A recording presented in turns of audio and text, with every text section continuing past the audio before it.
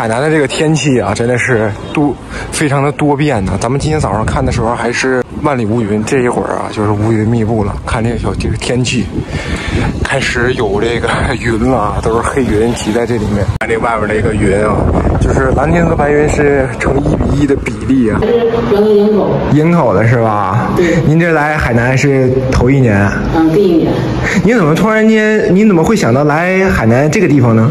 因为那个身体有点不太不太好，是吧？嗯，就是呼吸系统，是吧？那我们东北的时候冬天很冷，嗯，冬天都零下二十多度，然后对就是感觉就呼吸不畅，不舒服是吧不？舒服，完儿就是还经常的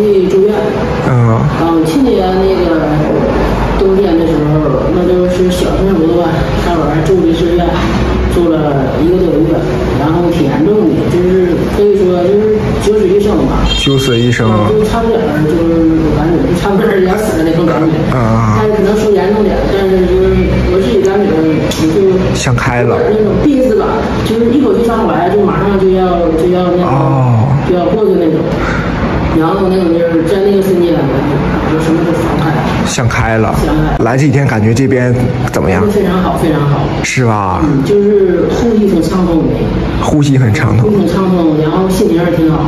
就是上海边儿去走一圈儿，发朋友圈儿，跟朋友分享一下我在这个海南的生活点点滴滴。对，主要是心情更愉悦了一些。您像您一个月开多少养老金呢？我现在我是因为我是有这个呼吸系统毛病，我我是有病退休的，啊，工的工资比较低，两千多点儿。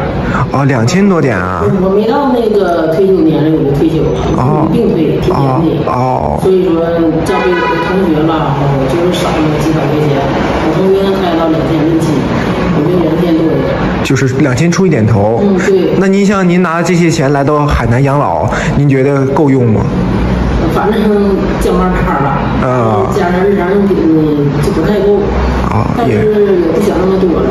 到这个地方是生活水平各方面儿生活质量啊都提高了。是吧？那您为什么会选择陵水没上三亚市区里呢？因为陵水是北纬十八度，啊，也是在十八度里。就是说冬天的温度啦，嗯就是相对比较来说比海口那边儿能高了几度。然后呢，这个这地方也不潮湿，就是